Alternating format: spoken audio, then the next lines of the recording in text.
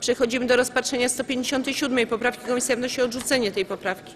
Przystępujemy do głosowania. Kto z Pań i Panów posłów jest za przyjęciem poprawki 157, zechce podnieść rękę i nacisnąć przycisk.